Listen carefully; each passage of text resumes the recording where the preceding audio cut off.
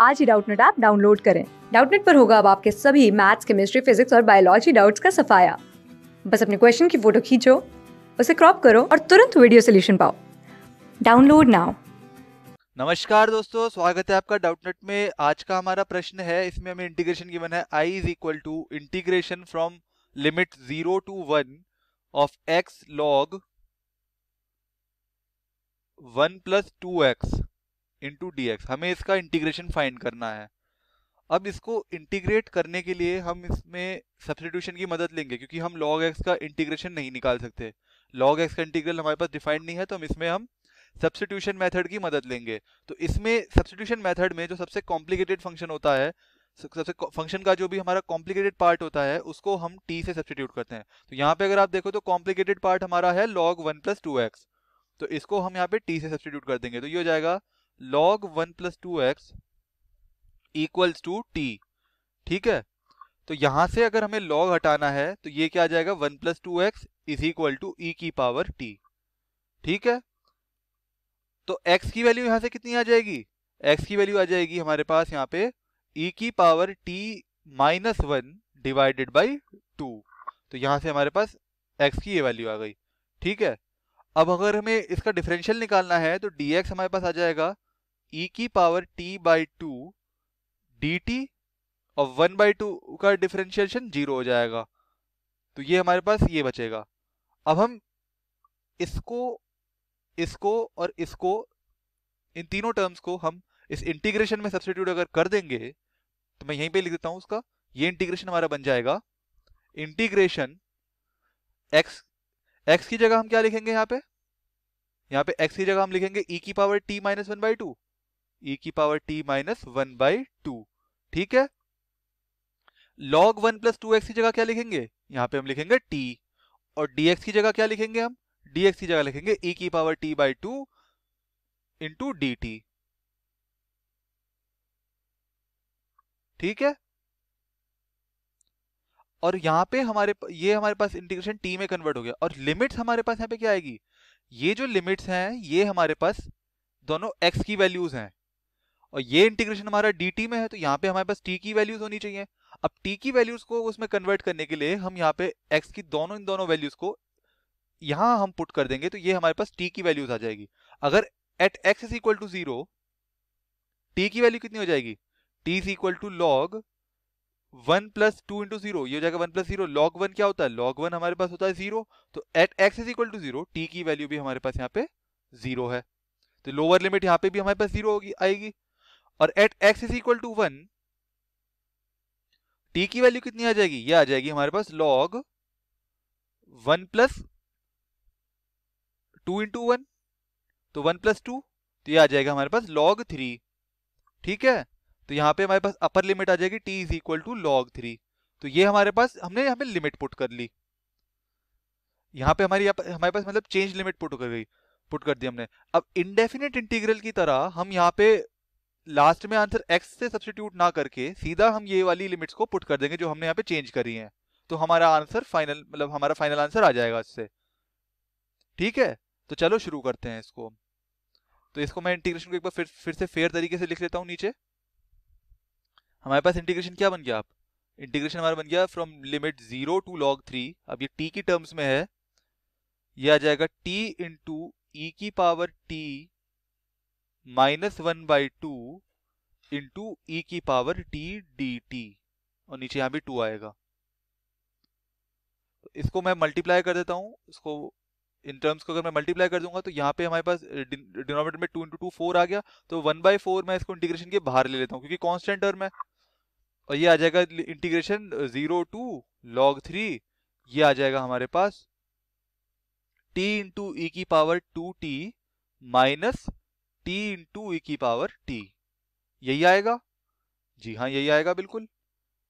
Into d t अब यहाँ पे हम इंटीग्रेशन बाय पार्ट्स की मदद लेंगे। तो इंटीग्रेशन बाय पार्ट्स में हम कैसे इंटीग्रेट करते हैं? इसमें हमारे पास ऐसा होता है, जब भी हमारे पास दो फ़ंक्शन मल्टीप्ली दो अलग अलग फ़ंक्शन जैसे ये हमारे पास एल्जेब्रिक फ़ंक्शन है, ये हमारे पास एक्सपोनेंशियल फ़ंक्शन है। जब भी हमारे पास दो फ़ंक्शन मल्टीप्लीकेशन में होते हैं, मैं जनरल फॉर्म आपको एक बार बता देता हूँ।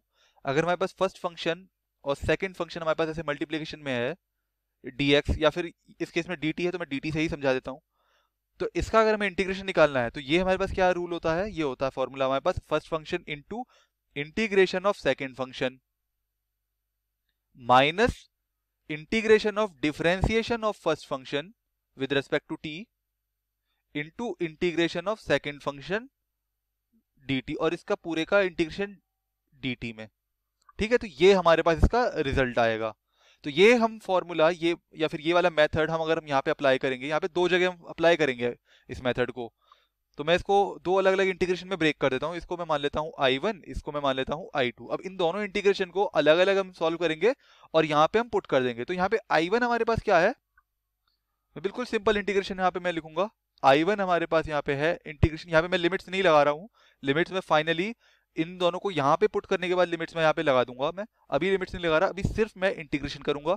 ई e की टी इंटू ई की power two t d t तो यहाँ पे हमारे पास फ़र्स्ट फ़ंक्शन क्या है? फ़र्स्ट फ़ंक्शन हमारे पास है यहाँ पे टी सेकेंड फ़ंक्शन हमारे पास है ई e की पावर टू टी तो ये हमारे पास बन जाएगा। टी इंटू ई की पावर टू टी का integration minus integration of differential of t into integration of e की power two t d t और ये पूरे का डी टी हम इसका इसका दो बार इंटीग्रेशन करेंगे, ठीक है? अब ये बन जाएगा हमारे पास t इंटू ई की पावर टू टी और e की पावर टू टी का इंटीग्रेशन होगा e की power two t by two minus ये हो जाएगा हमारे पास डी टी टी का डिफ्रेंशिएशन क्या हो जाएगा? t का डिफ्रेंशिएशन वन हो जाएगा और e की पावर टू टी का इंटीग्रेशन हमारे पास क्या आएगा? e की power two t upon two into d t अब इसका हमें फिर से इंटीग्रेशन करना है तो ये आ जाएगा हमारे पास टी इंटू ई की power two t upon two ये एज इट इज़ है, और ये आ जाएगा ई e की power two t upon two into two ये हो जाएगा फोर तो ये हमारे पास फ़र्स्ट इंटीग्रल का हमारे पास रिज़ल्ट आ गया। यहाँ पे यहाँ पे मैं कांस्टेंट टर्म में ऐड नहीं कर रहा हूँ, क्योंकि ये डेफिनेट इंटीग्रल में है। यहाँ पे आके अगर हम इसे पुट करेंगे तो कांस्टेंट टर्म्स रिमूव हो जाएगी लिमिट्स पुट करने के बाद। तो इसलिए मैं इसको अभी ऐड नहीं कर रहा हूँ। ठीक है? अब दूसरे पार्ट का हम इंटीग्रेशन करेंगे। क्या है हमारे पास? टी इंटू ई की पावर टी तो ये इसको मैं मान लेता हूँ I two integration of t into e की पावर टी डी टी तो यहाँ पे हमारे पास टी फ़र्स्ट फ़ंक्शन है ई e टी हमारे पास सेकंड फ़ंक्शन है तो ये आएगा हमारे पास t into integration of e t e t d t minus integration of differential of t into integration of e की पावर टी डी टी तो ये हमारे पास बन जाएगा टी इंटू ई की power t minus d t का differentiation one होता है और ई e की पावर टी का इंटीग्रेशन क्या होगा? ई e की पावर टी और उसको दोबारा इंटीग्रेट करेंगे यहाँ पे। यहाँ पे यहाँ पे तो आ गया ई e की पावर टी और उसका फिर से इंटीग्रेशन करेंगे तो ये भी हमारे पास ई की पावर टी ही रहेगा। तो ये हमारे पास इसका आंसर आई टू का हमारे पास इंटीग्रेशन आ गया। अब आई वन और आई टू का इंटीग्रेशन हम दोनों निकाल चुके हैं। तो हमें क्या पुट करना है? हमें पुट करना है यहाँ पे I one minus I two one fourth of I one minus I two तो ये हमारे पास आई में आ जाएगा। तो ये आ जाएगा हमारे पास I is equal to one by four integration तो हमने कर ही दिया है और ये हमारे पास आ जाएगा t इंटू ई की पावर, सॉरी, ये e की पावर क्या है? टू टी है। e की power two t by two minus e की power two t by four और ये minus t into e t minus minus plus e की पावर टी और लिमिट यहाँ पे हमारे पास क्या है? Zero to log three. Zero to log three. अब यहाँ पे हम लिमिट्स की वैल्यू पुट कर देंगे। और हम अपना आंसर पाएँगे। तो देखते हैं क्या आएगा आंसर हमारा? ये आएगा I is equal to one by four t की जगह यहाँ पे हम क्या पुट करेंगे? Log three upper limit put करेंगे। Upper limit minus lower limit हम करते हैं, ठीक है? इंटू ई की power two log three divided by two minus ये आएगा हमारे पास ई की power two log three divided by four plus sorry, plus नहीं, यहाँ पे माइनस ही है, यहाँ पे आएगा। लॉग थ्री टी की जगह लॉग थ्री और यहाँ पे हाँ यहाँ पे लोअर लिमिट मैंने पुट करना भूल गया था। इस वाली टर्म में अगर हम लोअर लिमिट पुट करेंगे तो टी यहाँ पे अगर हम लोअर लिमिट पुट करेंगे तो टी की वैल्यू यहाँ पे क्या आ जाएगी? यहाँ पे टी की वैल्यू ज़ीरो है तो ये पूरा टर्म जो है ज़ीरो बन जाएगा। तो लोअर लिमिट यहाँ पे हमारे पास माइनस ज़ीरो हो जाएगा। और यहाँ पे माइनस माइनस में टर्म है अपर लिमिट हमने पुट कर दी। लोअर लिमिट यहाँ पे अगर हम पुट करेंगे तो माइनस माइनस प्लस हो जाएगा ये। Upper limit minus lower limit होती है। तो यहाँ पे ऑलरेडी नेगेटिव साइन है। तो नेगेटिव साइन में अगर माइनस माइनस करेंगे तो ये प्लस हो जाएगा। तो ये आ जाएगा ई e की पावर ज़ीरो ई e की पावर ज़ीरो हमारे पास क्या होगा? वन ही होगा। तो उसको मैं डायरेक्टली वन लिख देता हूँ। वन बाई फोर ये आ जाएगा हमारा। ठीक है? अब यहाँ पे यहाँ पे पुट करते हैं। यहाँ पे क्या आएगा? माइनस का log three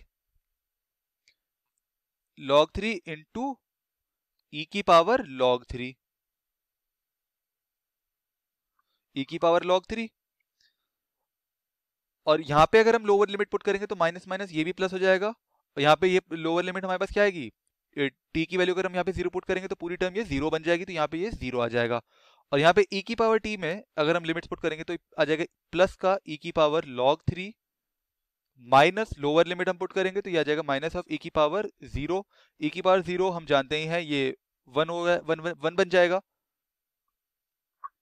तो ये हमारे पास अपर लिमिट और लोअर लिमिट पुट करने के बाद ये वैल्यूज़ आएँगी। अगर इसको हम फर्दर सिंप्लीफाई करेंगे आगे तो ये हमारे पास आ जाएगा। एक सेकेंड ये बन जाएगा i is equal to one by four ये log थ्री है और e की पावर टू log थ्री को हम यहाँ पे log की प्रॉपर्टी यूज़ करके हम लिख सकते हैं इसको। e की पावर log थ्री का स्क्वायर तो ये एक तरीके से क्या बन जाएगा? लॉग नाइन बन जाएगा। e की पावर लॉग नाइन अब जब भी हमारे पास ऐसी कोई टर्म होती है e की पावर अगर हमारे पास लॉग कोई, हमारे पास अंदर कोई भी फ़ंक्शन है सपोज़ कुछ भी है तो इसका डायरेक्ट रिज़ल्ट हमारे पास आ जाएगा एफ़ एक्स जो भी हमारे पास यहाँ पे टर्म है। यहाँ पे फ़ंक्शन है या फिर कोई भी कॉन्स्टेंट टर्म है, जो भी है, वो सीधा आ जाएगा। यहाँ पे क्या आ जाएगा? यहाँ आ जाएगा three power three square three square log three और थ्री स्क्वायर को अगर हम चाहें तो नाइन भी लिख सकते हैं। Nine log three divided by two minus यहाँ पे भी सेम वही चीज़ करेंगे। यहाँ का टू जो है इधर पावर में पुट कर देंगे। तो यहाँ पे भी ये आ जाएगा नाइन बाई फोर यही आएगा। और plus one by four minus अब यहाँ पे ये क्या आ जाएगा? E की पावर लॉग थ्री हो जाएगा। लॉग ये e की पावर लॉग थ्री हमारे पास थ्री हो जाएगा। तो ये आ जाएगा माइनस का थ्री लॉग थ्री और e की पावर लॉग थ्री ये हमारे पास क्या आ जाएगा? ये आ जाएगा प्लस का थ्री यहाँ पे ज़ीरो तो है ही, और माइनस वन अब इसको सिंप्लीफाई कर सकते हैं हम। तो ये आ जाएगा आई इज़ इक्वल टू इसका और इसका एलसीएम में ले लेता हूँ पहले तो। ये आ जाएगा nine log three minus six log three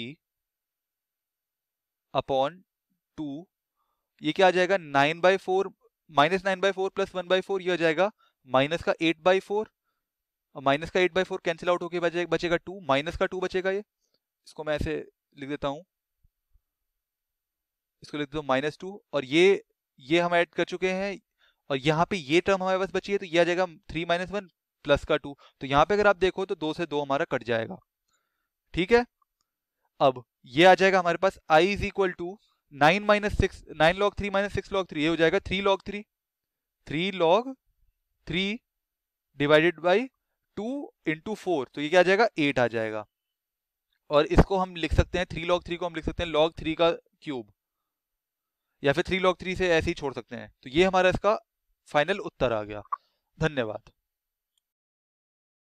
class six से ट्वेल्थ से लेके NEET I I T JEE mains और एडवांस के लेवल तक, दस मिलियन से ज़्यादा स्टूडेंट्स का भरोसा। आज ही डाउनलोड करें डाउट नेट आप या व्हाट्सअप कीजिए अपने डाउट्स आठ चार सौ चार सौ चार सौ पर।